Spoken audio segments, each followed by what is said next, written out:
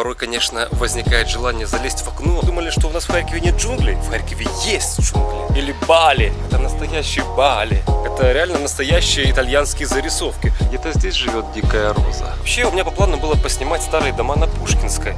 Я, честно говоря, не думал, что у нас есть э, такой интересный арт-объект.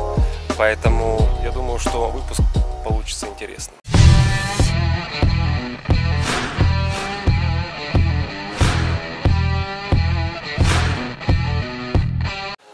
Это, друзья, улица Кирпичева. Кирпичева, 21 дом. Если кому хочется сделать пару интересных инстаграм-фотографий, то, пожалуйста, Кирпичева, город Харьков. Так что, друзья, наш город Харьков не такой уж и простой, как кажется на первый взгляд.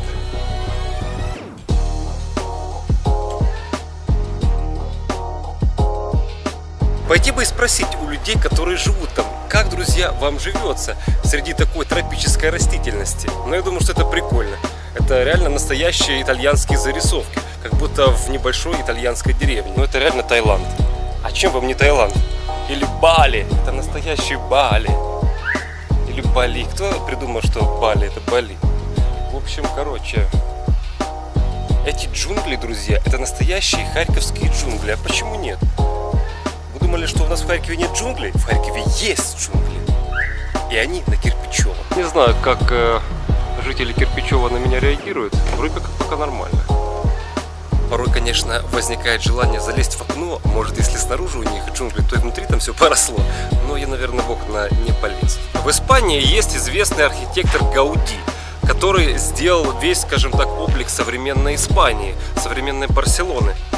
И все туристы, которые приезжают, удивляются его, скажем так, мастерству, мастерству его руки и взглядов.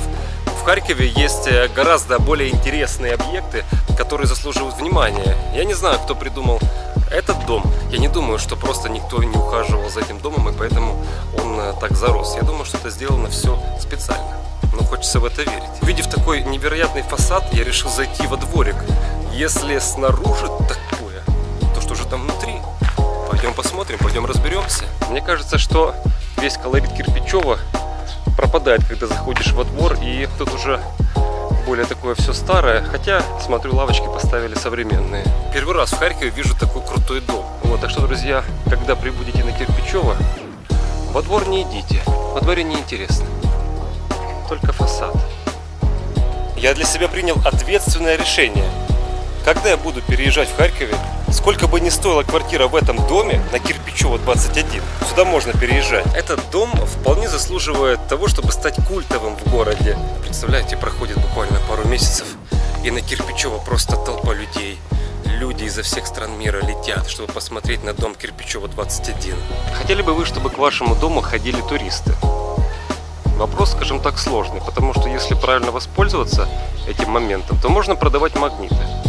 А если не воспользоваться, то туристы, конечно, могут утонуть.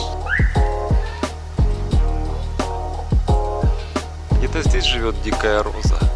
Множество гостей, которые прибыли в Харьков, понятия не имеют о том, что на Пушкинской происходят такие дива, друзья. Поэтому давайте им расскажем, давайте покажем миру, что у нас тоже есть интересные итальянские дома.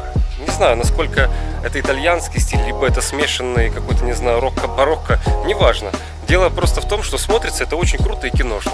Когда ты приезжаешь в какой-нибудь город европейский, то тебе вся эта тема нравится. А почему нельзя радоваться такому же точно дому, только у себя, скажем так, рядом с домом в Харькове? Из интересного здесь еще остались лестницы на фасаде.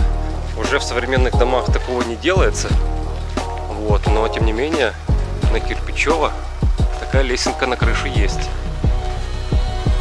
пришла такая мысль, я думаю, что если этот выпуск хорошо зайдет, то жители Кирпичева меня просто возненавидят, когда начнут люди сюда ходить фотографироваться. Но я надеюсь, что все будет нормально.